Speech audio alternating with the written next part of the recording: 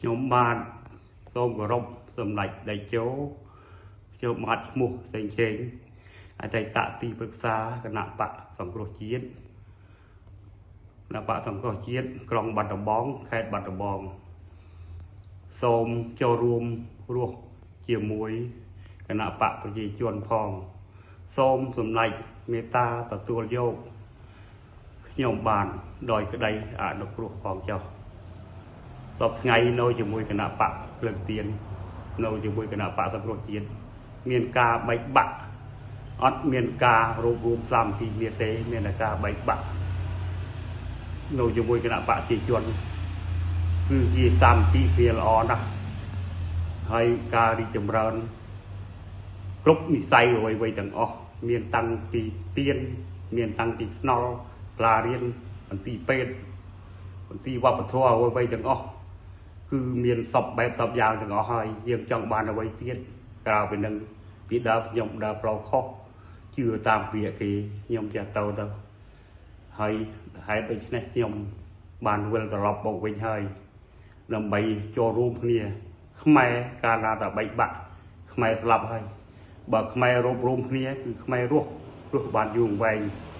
ហើយដូច្នេះខ្ញុំបានចូលរួមជាមួយគណៈបកប្រជាជនកម្ពុជា ជារៀងរហូតពេលនេះតទៅ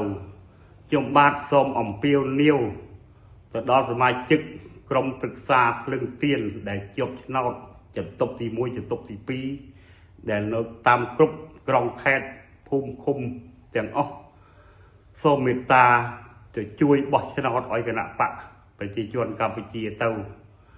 សូមសូមមេត្តាទៅបោះឆ្នោតឲ្យគណៈបកប្រជាជនទៅល្អជាងហ្នឹងហើយគណៈបក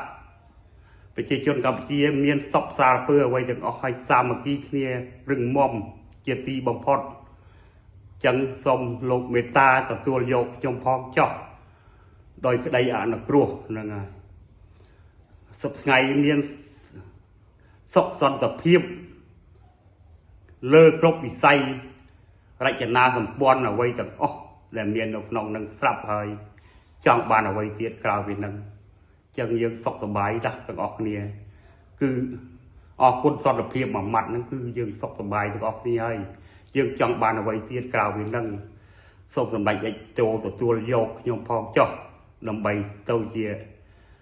ចុះចូលទៅជាមួយគណៈបកប្រជាជនកម្ពុជាឲ្យបានរីកចម្រើនទាំងអស់រាល់គ្នាកុំបែកបាក់ខ្មែរយើងកាលណាតែបែកបាក់ខ្មែរស្លាប់បើខ្មែររួមរួមគ្នាខ្មែររស់ឡើងវិញជាទីបំផុត ជាចុងក្រោយខ្ញុំបាទសូមគោរពទៅ